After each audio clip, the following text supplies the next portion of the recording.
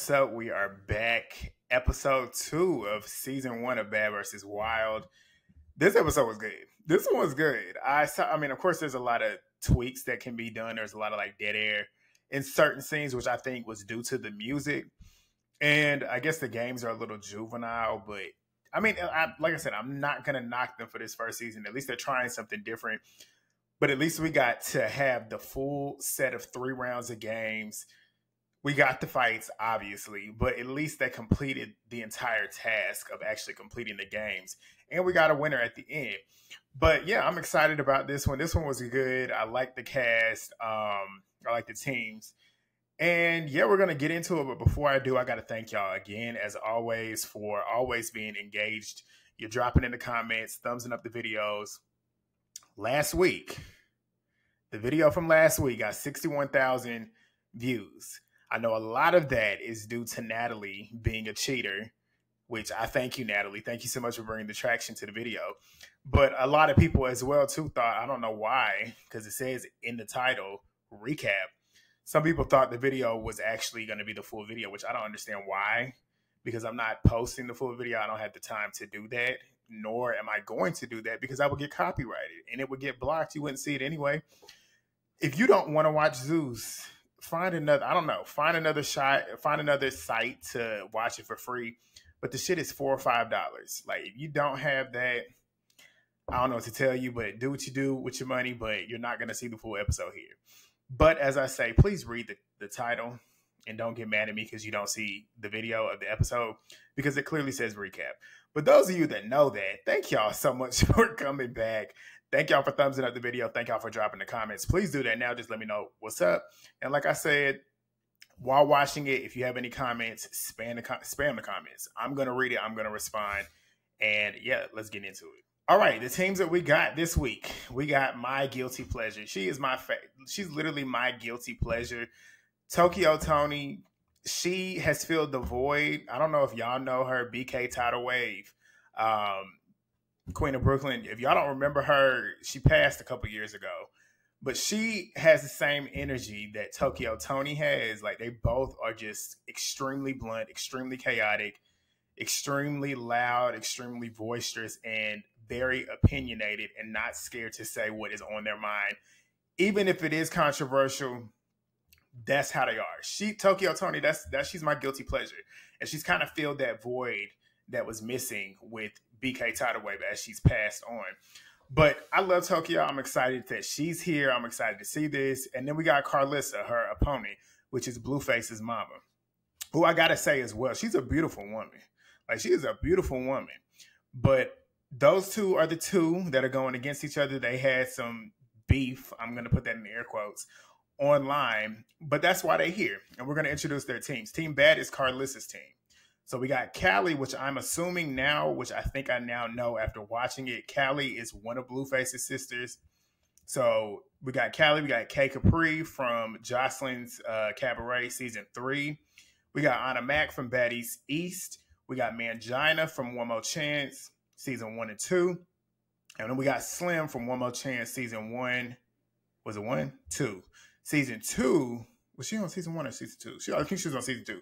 Slim was on season two of One More Chance and Baddies South and completely embarrassing herself going and auditioning for a show that you've been on, for a network that you've been on, a show that you've been on. You've been on multiple different shows, but she's auditioning for Baddies Caribbean. Embarrassing. But Team Wild, Team Wild is my favorite team. Team Wild's got a lot of the, the players that I like. We got Tokyo Toni. You already know I love her. Sukihana I, I like Suki. Suki's just entertaining to me. Yodela, that's who needs to be on Baddies. She is Baddies personified. I loved Yodela on One More Chance both seasons. She fight. She's pretty. She's a baddie. She got her own businesses. Like she's really with it. And she just had twins. And looking at how she looks on here, it's like, damn, she snapped back. She snapped back fast. We got Sidney Starr, who is the transgender diva, who is very entertaining. I'm not gonna lie to you when I first started reviewing the show, which is the first time I jumped on YouTube, which was Baddies ATL, that was the first show I've ever recapped. Sidney was on it. Sidney was annoying to me on there because the people that she was on there with, the cast for the majority, they weren't trying to do all that stuff. She was trying to make a show which I feel like now she would be okay on baddies. Any type of baddies, I feel like she would be okay because she has enough people that can literally entertain her bullshit. But Sidney is entertaining to me. She's funny. I don't know why, but she's funny to me. We got Stoney from One More Chance season two. I liked her as well on that season. And Black Diamond, she's the only one I don't know. But the rest of those other ones, I loved all of them. So that's my team going into it. But the teams they arrive, um, Karlissa and Toni, they don't fuck with each other. We don't know why. So they showed the flashback. Tokyo Toni's on live. I think I might have missed this live, but I see just about every Tokyo Toni live. But she's saying that Karlissa allowed her and her daughter to get their ass beat at the same time, which we know, Chrisean. Karlissa said, fuck that bitch. She always talking shit. And she gonna have to show her how them hands work. And Tokyo said there's no woman on God's green earth that she don't want to see. So in this moment, I'm like, okay, they talking big shit. So we'll see if they throw hands. We'll see. But backstage, we got Mangina with his team. Um, I hope I'm not misgendering him because Mangina, I don't, I don't know if he's like considered trans because I know, I don't know because I don't follow Mangina, but I, I don't know if I'm misgendering him. I hope I'm not, but please don't take offense to it. If I am, just let me know what it is respectfully. I'm trying to respectfully respect him or them or her, whichever pronoun you get it. Trust me, lay off me. I ain't look. I ain't, don't tear me up, but I'm trying to be respectful.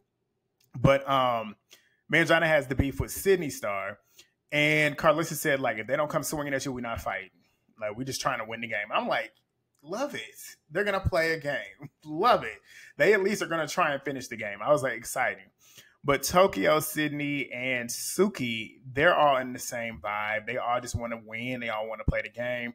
As long as nobody fucks with them, they'll be good. Sidney says this means a lot more to her than them, which we all know. Sidney's been dying to get back on Zeus. Sidney's been dying to be back on TV.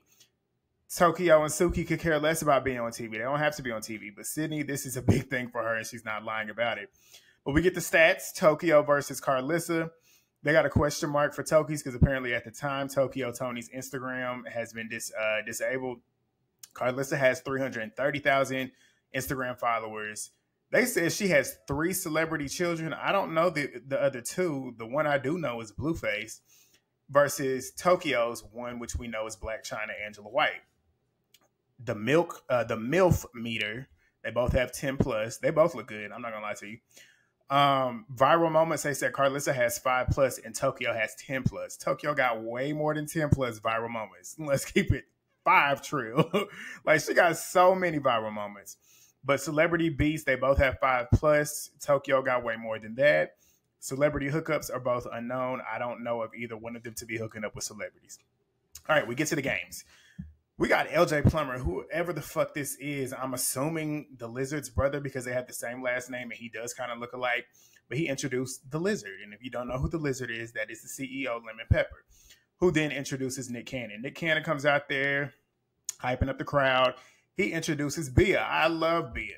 Bia, I've been a fan of Bia. I liked Bia more when she was underground, when she wasn't as mainstream, because I feel like with mainstream artists, once they come up from underground artists and they get the label, they get the money behind them, they kind of lose what made them good. And I feel like Bia's music, I still like her music, but I feel like it's kind of one note now. But Bia back in the day, if y'all ain't, if y'all didn't listen to Bia back in the day, like go back and listen to it. I love Bia. But she performed. I'm not gonna lie to you. I skipped through it. I love Bia. I'm probably gonna skip through all the performances. I'm not gonna lie to you because I just want to see what's going on. I'll watch it back though later on when I rewatch the episode. But Bia performs. Uh, Nick then states that they're gonna have three rounds again. They're gonna play the games to win points for their teams, and he introduces Courtney B, who has been emceeing, as we all know. She introduces Big Ant, who is the referee security. And then Nick brings out the teams. Karlissa's team comes out first. Uh, he has her introduce her team, and she actually does. Y'all remember last week we tried to get the teams introduced, and they didn't want to. Com- they did not want to comply with what he was trying to do. So she introduces her team. They all get their little individual cheers. They go and sit on the couch. Nick then brings out Team Wild, which is Tokyo's team. She comes strutting out there like she meant business. And their team come out there. Their team was crowd, got the crowd jumping and everything. She introduces her team individually. They get their shouts, and then they go sit down. So Nick then tells them they'll battle it out for three rounds. The first round, the first game they're gonna play is called Shake Some, and it's pretty much red light, green light style. So when he says green light, they got to get up and dance. Red light, the music stops, and if they don't freeze, they are supposed to be eliminated. I said they are supposed to because a lot of things that were supposed to happen didn't happen. But Courtney will be the one detecting who is moving to get them out. Detecting. She wasn't really detecting. But they begin, they play this random ass instrumental song with a little bit of a beat. You can tell they probably trying not to play copyrighted music, but essentially that's what they need to do. If anything, play play copyrighted music while filming it, but like do an audio bed over it to where the girls at least seem like they want to dance because they started off dancing like they wanted to dance, but as it got on, you could tell they was like, "I'm tired of doing this" because the music ain't even that high. But I'm gonna go through it. The first, the first or the second song, they got Sidney out first. Karlissa was the third. Kali was the fourth. They went multiple rounds before Ahna got eliminated. Mangina and Slim got eliminated, but Slim stayed in for a couple of rounds when she should have been eliminated. But Stoney then got eliminated. Tokyo was out there. Tokyo was a star for me. Tokyo was busting the moves out. She was down there on the ground, them knees. She got Meg the Stallion knees. Tokyo was doing it. And I'm like, Tokyo, for your age, you doing it. Uh, Black Diamond ends up getting eliminated. Sidney then tells Slim she was supposed to be not yeah, Sidney told Slim that she was supposed to be eliminated. And then that's when they finally eliminated her. Um, it got down to K Kapri, uh, Yodela, and Tokyo which I expected those three to be the final three. K Kapri ends up getting eliminated. Tokyo and Yodela were the last two standing, and of course they're on the same team. So in my mind, Team Wild won that round. Nick then proceeds to say Karlissa made a point that she got out prematurely because somebody had pushed her. I'm like, that's not the point. The point is, is that when the music stops, whether you got pushed, nudged, fell off balance, if you if you moving, you're supposed to be gone. So I'm like, that's when they that's one thing they need to tweak going into the next season. You have your rules in place, enforce them. If somebody's moving, the whole point is to freeze when the music stops. It don't matter if you got nudged, it don't matter if you just fail. If you move, you out. And it don't even have to be one person because I saw a couple people during multiple rounds that were moving, they should have been eliminated. So that would make the game even better and it would make it go by a little bit quicker. But maybe I don't know if they were trying to stretch it out. But regardless, it would make it a little bit more tedious and you'd be able to get it done a lot quicker. But because she got pushed, he decides that they want to have a twerk off between the two team captains, which is Tokyo and Karlissa. So they start twerking. Uh, Karlissa was twerking, but Tokyo was winding them hips. Tokyo was getting it. She was getting it, and of course she won because Clark, uh, Karlissa ain't freeze again, so she lost again. So Tokyo won that first round. The second round they play keep it a stack again, which y'all know from the last one if you watched. Um, they got to come up with truths. They ask the players on each team. If they stumble over the questions, they play a dare. And the audience is going to decide if they're telling the truth. If the audience thinks that they're lying, they'll get a dare. Courtney will then give them the dare, and then they'll get a point if they complete the task. So Ant comes up on the stage with the stacks. First up is Mangina versus Sidney. Sidney elects to go first, and Mangina's like, no, I go first. Sidney's like, I'm a lady, I go first. Mangina proceeds to ask the question. So Mangina says, "Is it true that you stay at home, don't have your own place, you stay at home with your mama, and you out here fucking for free outside of hotels?" Which I believe is true. I don't follow Sidney like that, so I don't know, but I believe I've heard this story before. Because Mangina said that I always see you in hotels, which I've seen from the blog. She is always in hotels, so could be true. But Sidney ends up swinging on Mangina. Didn't even ask. She didn't even answer the question. She swung on him. Mangina started swinging back, and of course, Sidney starts running back because Sidney can't fight. So she decides to run back, and of course, what happens? Because Sidney is always Sidney's always been clumsy. She falls and damn near falls off the stage. I died laughing, died laughing. But uh Tokyo comes to her rescue. Everybody's up there laughing and dancing. And Tokyo is screaming at Sidney, sit your ass down, calm the fuck down. And I was like, thank you. I'm glad she did that. Cause like at this point, yes, they can fight, but at the end, Tokyo's trying to play. She's trying to win. And she pretty much told him that backstage, like, if nobody swings on you, don't fight. This is what happened. But Sidney then gets her chance to ask the question. She asked Mangina, is it true that Mangina lives with roaches? They start fighting again. Sidney starts kicking, and the way she started kicking had me dead because she was kicking like DJ Sky was with Ahna. But as she's kicking, Mangina gets to swinging and was swinging so good. And Sidney is like Sidney's kicked, but like you could tell she was not trying to get hit. So she kicked and then tried to duck and jumped down into the fetal position. jumped into the fetal position, fell down there, and Mangina gets to swinging. And of course, security tries to break it up. I was dying. It was hilarious. But they finally get them to calm down. We get the next set of rounds, which is Ahna versus Suki. Ahna said, bring Tokyo up here too. Tokyo comes up there, and here comes Karlissa. So it's Karlissa and Ahna now versus Suki and Tokyo. So Ahna asked Suki if it's true that her coochie ain't so Gucci. it's like Ahna is funny, but Suki said it made her a million dollars, and she knows how to make a mean. It knows how to make a mean steak. And of course, the crowd is cheering and chanting. But Suki then asked Ahna if it's true that when she fought DJ Sky, when she fell and her ass fell on her face, is she a part of the ass eating crew? And Ahna says that she might do both. She like licking ass and gooch. Ahna then says to Tokyo, she heard that she was fighting for her life outside of hotels. I was dying, dying. Because, like I said, I watch all of Tokyo's lives, and Tokyo is always in a hotel. She's got one of the one of her lives. I don't know if y'all have seen it, but if you haven't, go YouTube it because I'm pretty sure it's still on YouTube. Tokyo was in a hotel one night. She was eating food, and she um she heard screaming. I watched this. I've watched this live so many times. She heard screaming, like it's a girl screaming bloody murder, just screaming. So she stops, takes her camera with her, and goes outside. And there's a girl outside screaming because apparently, um, I guess one of the dudes that hit her or whatever, the dude that she was with, and apparently she was spitting on him and stuff. Tokyo was trying to get her away from him, and she did not want to do it. And Tokyo eventually got to the point where the dude came out, was trying to cuss Tokyo out. Tokyo was like, "This ain't what you want. Fuck you. Like, who you talking to?" Calling him gay and stuff, calling him all types of crazy stuff. And then it got to the point where she was trying to pull the girl away, and she was like, "Fuck you. Like, don't record me." And da da da da, because she saw Tokyo recording it. Tokyo's like, "Fuck you. Get your ass in there and get your ass beat again. like, get in there and get your ass beat again." and then she ended up leaving. I was dying. Tokyo is hilarious but I just literally detoured but y'all get the point. She was in the hotel as Ahna said. Tokyo said, Who you talking to me? And then she said, Yeah. And then Tucker said, Fuck no, bitch. she said, I'm a smart bitch, a business bitch. She said she left her nigga and that's why she was in the hotel, but she's not like y'all bitches because she don't stay.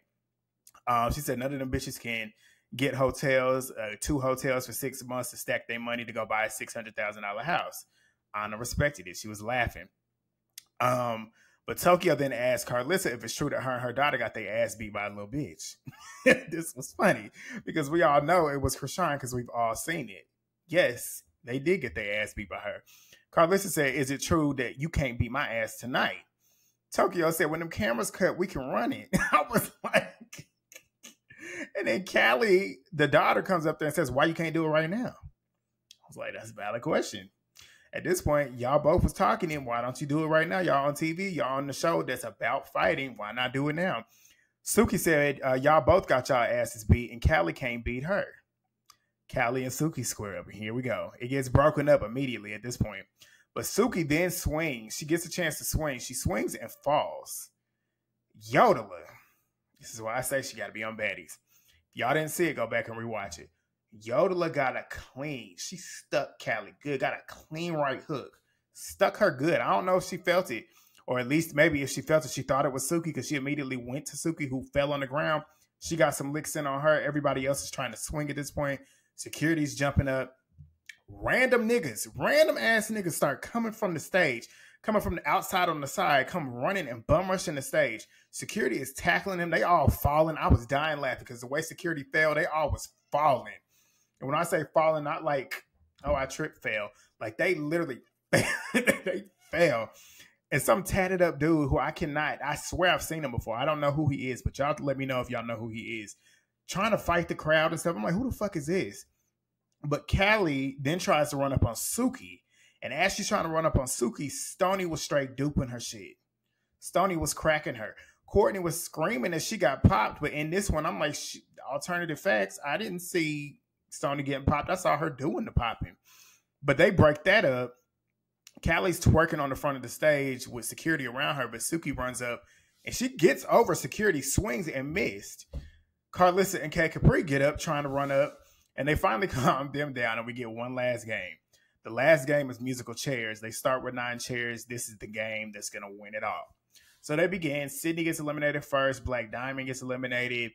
Ahna says she ain't fighting no niggas talking about Sidney and Mangina.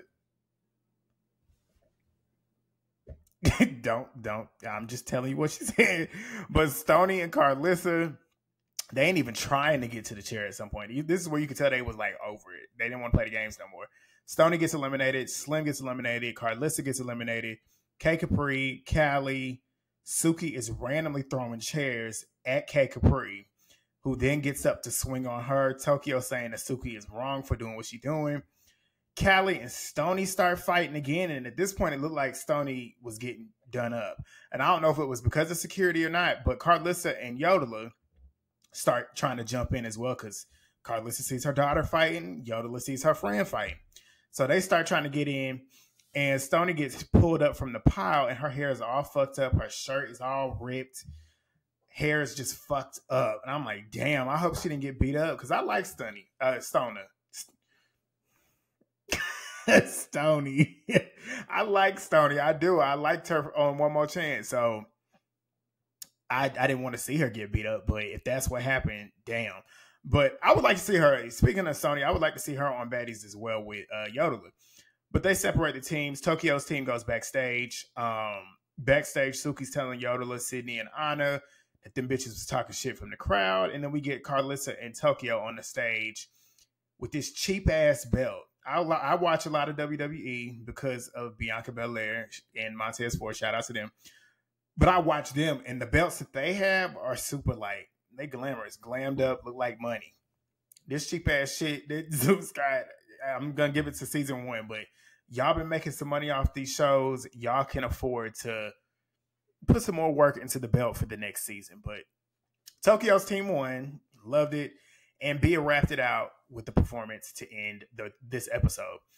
I love the episode. Honestly, it was good. Um, of course, there was things about it that could be better, but it was entertaining. I'm starting to like. I well, I'm not starting to like. I like the lightheartedness of it. Granted, we're gonna have fights in every episode, but it's cool to see them at least trying to have fun and playing games. And I like the fact that we have a lot of the Zeus talent from all different shows that Zeus has had, like integrating with each other to do these type of game shows. And like I said with Movie Bay when we went live probably a couple months ago, co-ed stuff like get like a like challenge based show as well like where they all can live in the same house where you got a couple of the dudes a couple of the girls you can create a lot of storylines have them playing games for money at the end that's just an idea that i would say just going forward in the future but this is good like when you when you really put this together think out the games think about how you're going to structure it how you're going to control the cast this could be good it could be good but i enjoyed the episode let me know what y'all think down below. Please thumbs up the video. Please subscribe. I know this video ain't gonna do 61k like the last one did. Ain't no way in hell, but I want to thank y'all for that. Thank y'all so much for that. Um, if you watch the video through and through, you will, Because that's all I want you to do.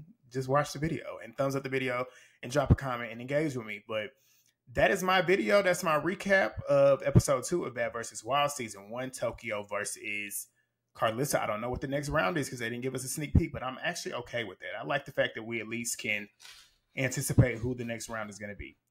But yeah, that's it. That's me signing off. I am going to enjoy the rest of my night, and I hope y'all do the same. Peace. I'll see y'all next week.